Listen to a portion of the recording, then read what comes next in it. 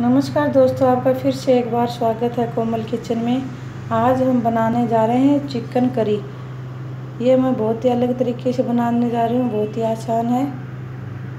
तो चलिए हम सबसे पहले स्टार्ट करते हैं। मैंने प्याज लिया, इसको मैंने मिक्सी में नहीं पीसा है। ये छोटे छोटे कट किया है, टमाटर ग्रेवी के लिए मैंने मिक्सी से पीस लिया है।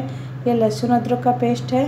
तो चलिए हम सबसे पहले मैंने ऑयल डाल रखा है कुकर में। दो चम्मच ऑयल के लिए मैंने एक के जी चिकन है।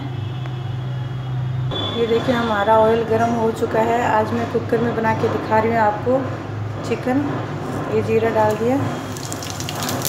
अभी हम ये प्याज और हरी मिर्च का कटा हुआ डाल देंगे।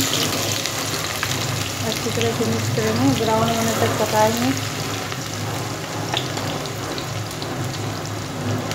फिर इसके बाद लहसुन का पेस्ट डालेंगे। अभी ये देखिए, लहसुन हमारा ब्राउन हो गया है। फिर प्याज हमारा ब्राउन हो गया था। हम ये लहसुन का पेस्ट डाल देंगे, लहसुन अदरक का। इसमें मैंने लहसुन थोड़ा ज़्यादा लिया है। इस तरह से हिला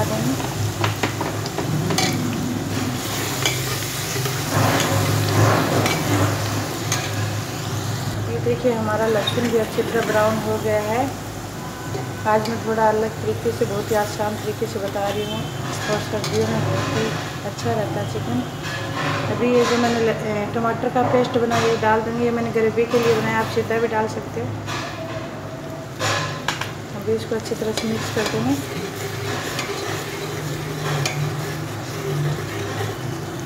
अभी जब तक हमारे टमाटर ऑयल में पक रहे तब तक हम मसाला तैयार करते हैं। देखिए मैंने टमाटर पेस्ट वाली कटोरी ली इसी में हम डाल लेंगे ये मैंने धनिया पाउडर लिया है एक चम्मच के करीब।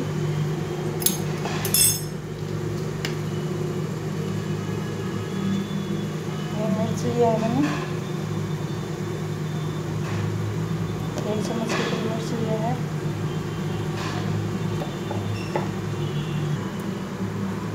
और एक चम्मच के करीब मैंने हल्दी लिया है। थोड़ा और ले लेते हैं। और एक चम्मच के करीब हमने ये नमक लिया है। नमक आप स्वाद के अनुसार ले सकते हो।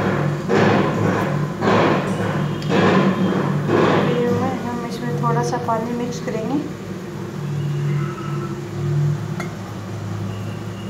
ज़्यादा पानी नहीं डालेंगे थोड़ा सा मिक्स करके, चम्मच से ज़रा इनको मिक्स करके अभी अभी हम टमाटर वाले पेस्ट में, अभी हम इसमें डाल देंगे और हैं। अभी देखिए हमारे टमाटर प्याज अच्छी तरह से ब्राउन हो गए हैं। अभी हम इसमें ये मसाला डालेंगे। जो पहले से ही पानी डाल के अच्छे से पेस्ट। बना रखे हैं। अभी हम इसमें डाल देंगे।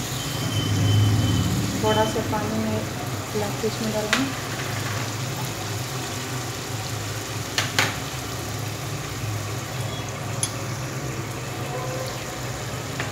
अभी अच्छी तरह से अभी मसालों को दो डेढ़ मिनट के लिए पकाएँगे हम, फिर इसमें हम चिकन डालेंगे। चिकन के बाद हम इसमें चिकन मसाला डाल देंगे। ये देखिए, हमारा मसाला पक रहा है। और ये मैंने एक के जी चिकन लिया है, इसको अच्छी तरह से साफ़ कर दिया है। अभी हम ये मसाला हमारा पक चुका है, इसमें हम डाल देंगे। अभी हम इसमें डाल देंगे अच्छी तरह से मिक्स करेंगे। ये देखिए, हमने अच्छी तरह से मिक्स कर दिया है। अब इसको थोड़ा पकने के बाद हम ये चिकन मसाला डाल के फिर पकाएँगे आधा मिनट के लिए। हमारा आधा मिनट हो गया अभी हम इसमें ये मसाला डालेंगे चिकन मसाला लिया है, हमने एवरेस्ट का लिया है। आप कोई भी यूज़ कर सकते हैं, अगर इनको मसालों को अच्छी तरह से मिक्स करेंगे देखो चिकन मसाला को मैंने अच्छी तरह से मिक्स कर दिया है, अभी थोड़ी देर इसको आधा मिनट के लिए पकने से फिर इसमें पानी डाल के दो सीटी से हमारा चिकन तैयार हो जाएगा। ज़्यादा सीटी नहीं मराएँगे ज़्यादा सीटी मारने से गल जाएगा। देखिए डेढ़ मिनट हो गया हमारा मसाला अच्छी तरह से चिकन में पक गया तो हम इसमें पानी डाल देंगे आपको जितना ग्रेवी चाहिए उतना पानी डाल दो आप। अभी दो सीटी मरवा देंगे हम। अच्छी तरह पहले मिक्स कर लेते हैं। ये देखो मैंने मसाला अच्छी तरह से मिक्स कर दिया, पानी डाल दिया। अभी हम कुकर बंद करके दो सीटी लगवाएँगे।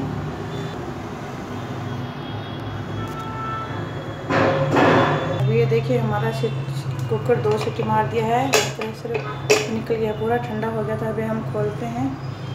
अब ये देखो हमारा बन के एकदम रेडी हो चुका है। कितना अच्छा कलर है इसमें।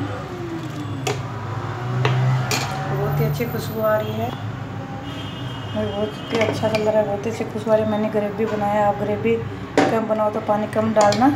अभी मैं इसको प्लेट में निकालती हूँ। ये देखिए, हमारा चिकन बन के तैयार हो गया है। बहुत ही अच्छी खुशबू आ रही है। और बनाने का बहुत ही आसान तरीका है।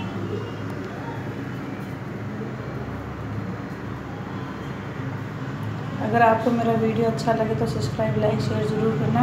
और वीडियो देखने के लिए बहुत बहुत धन्यवाद। और फिर मिलते हैं अगली वीडियो में। Bye bye.